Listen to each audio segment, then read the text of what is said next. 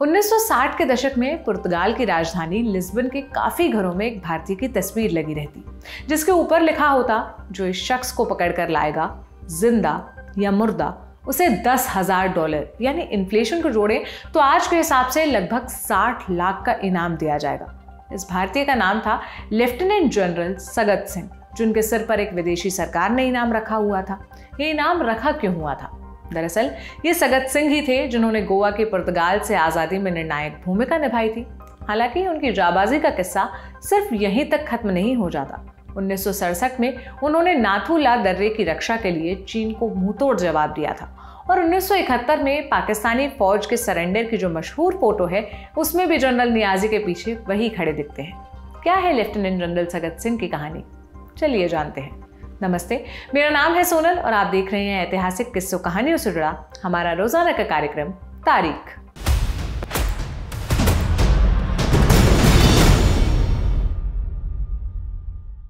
सगत सिंह का जन्म 1918 में हुआ था, राजस्थान के शहर चूरू में। 1938 में उन्होंने बीकानेर रियासत की फौज की नौकरी की, कुछ समय ईरान में रहे और 1941 में सिंध में अपनी सेवाएँ दी। 1945 में उन्हें ब्रिगेड मेजर बनाया गया। आज़ादी के बाद जब बीकानेर का भारत में विलय हुआ, सगत सिंह भारतीय फौज से जुड़ गए और 1960 तक वो 50वीं पैराशूट ब्रिगेड के कमांडर बन गए। तब ये ब्रिगेड भारतीय सेना की इकलौती पैराशूट ब्रिगेड हुआ करती थी। सगत सिंह के कमांडर बनने का किस्सा भी बड़ा दिलचस्प है। दरअसल, पैराशूट ब्रिगेड का कमांडर सिर्फ़ उसी को बनाया जाता जो खुद भी एक पैराट्रूपर हो। लेकिन सगत शुरू से राइफल रेजिमेंट का हिस्सा रहे थे। यानी उन्हें पैराट्रूपिंग की ट्रेनिंग नहीं थी। जब कमांडर बनने की बारी आई, सगत की उम्र 40 वर्ष हो चुकी थी। फिर भी उन्होंने फैसला किया कि वो ट्रेनिंग लेंगे और 40 वर्ष की उम्र में वो इस परीक्षा में पूरे सम्मान के साथ पास हुए। पैराट्रूपर्स वाली मरून बेरेट हासिल करने के एक साल के अंदर ही नवंबर 1961 में उन्हें दिल्ली बुलाया गया और एक महत्वपूर्ण मिशन की ज़िम्मेदारी सौंपी गई। गणतंत्र की स्थापना के बाद भारतीय फौज का सबसे बड़ा मिशन ऑपरेशन विजय जिसका उद्देश्य था गोवा की आज़ादी। गोवा 1961 तक पुर्तगालियों के कब्जे में था। ऑपरेशन विजय के तहत सबसे पहले पैराट्रूपर्स भेजे जाने थे, जो सीधे हवा से पंजे में लैंड करते। इसके बाद एक पैदल टुकड़ी मडगांव में एंटर होती और दोनों तरफ़ से सेना का कब्जा हो जाता। 18 दिसंबर के रोज पैराशूट से लैंड करने वाले सबसे पहले सैनिकों में सगत सिंह भी एक थे। 19 तारीख की सुबह जब उनकी टुकड़ी शहर की तरफ़ बढ़ी, गोवा की पुर्तगाली सरकार ने पुल वगैरह सब तोड़ डाले थे। सगत सिंह और उनके साथियों ने तैर कर नदी पार की। जब वो पंजम के किनारे पहुँचे, तब तक रात हो चुकी थी। इसलिए उन्होंने अपने साथियों से सुबह होने का इंतज़ार करने को कहा, क्योंकि आबादी वाले इलाके में रात को हमले से आम लोगों के मारे जाने का खतरा था।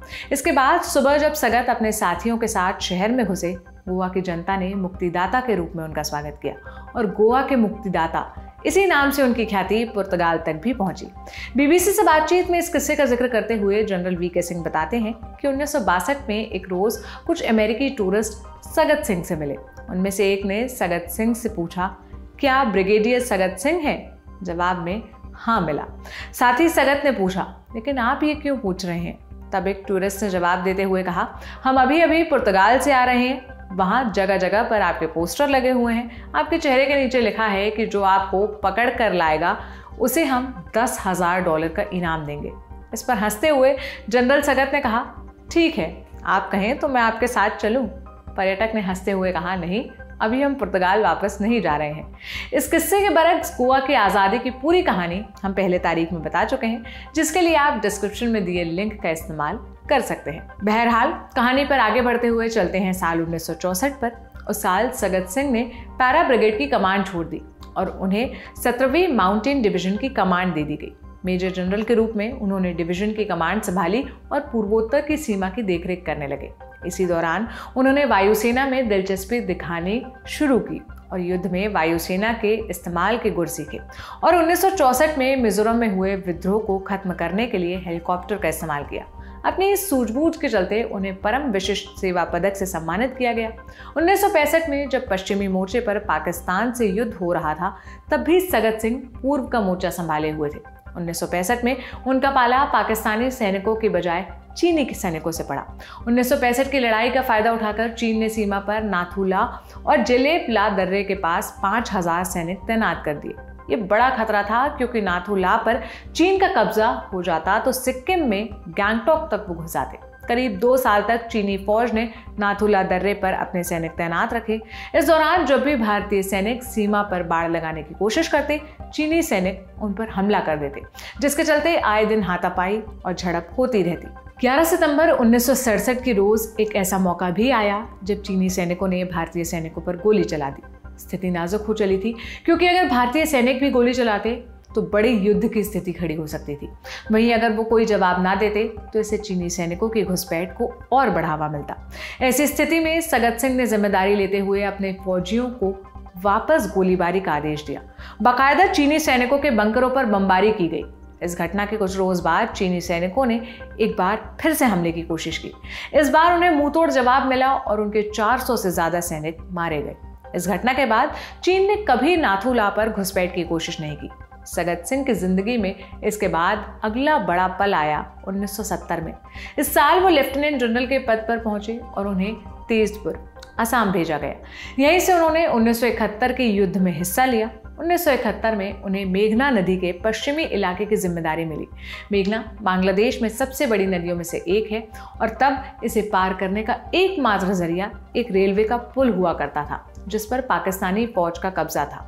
भारतीय फौज के आक्रमण को देखते हुए पाक फौज ने ये पुल ही उड़ा दिया ताकि भारतीय फौज नदी के उस पार ढाका तक ना पहुँच पाए। पुल की मरम्मत में काफ़ी समय लग सकता था, इसलिए लेफ्टिनेंट जनरल सगत सिंह ने major general B F Gonsalves के साथ मिलकर एक दूसरा रास्ता निकाला। उन्होंने सैनिकों को हवाई जहाज़ से उतारने का फैसला किया। बाकायदा मुक्ति वाहिनी के लड़ाकों को नदी पार कराने के लिए भी इसी तरीके का इस्तेमाल किया गया। इस दौरान नौ हेलीकॉप्टर ने साठ उड़ाने भरकर पाँच सैनिकों को मेघना नदी के पार उतारा। ये कदम जनरल सगत ने बिना उच्च अधिकारियों की अनुमति के उठाया था।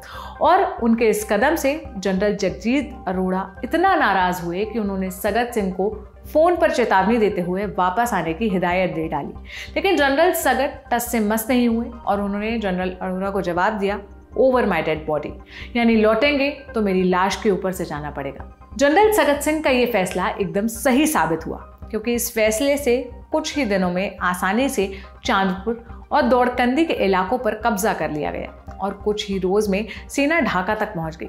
जैसा पहले बताया गया, जिस रोज जनरल नियाजी आत्मसमर्पण के दस्तावेज़ पर दस्तखत कर रहे थे, तब सगत सिंह भी वहाँ मौजूद थे। देश को दी गई अपनी विशिष्ट सेवाओं के लिए सगत सिंह को साल उन्नीस सौ छिहत्तर में देश का तीसरा सर्वोच्च नागरिक सम्मान पद्म भूषण से सम्मानित किया गया। इसी साल वो फौज से रिटायर हुए। करीब 25 साल बाद 2001 में दिल्ली के सैनिक अस्पताल में बयासी साल की उम्र में उनका निधन हो गया। तो आज के लिए इतना ही। अब हम आपसे विदा लेते हैं। तारीख का ये एपिसोड लिखा था मेरे साथी कमल ने। आपको कैसा लगा? ये बताने के लिए कमेंट बॉक्स खोला है। अपनी राय ज़रूर दीजिएगा। शुक्रिया।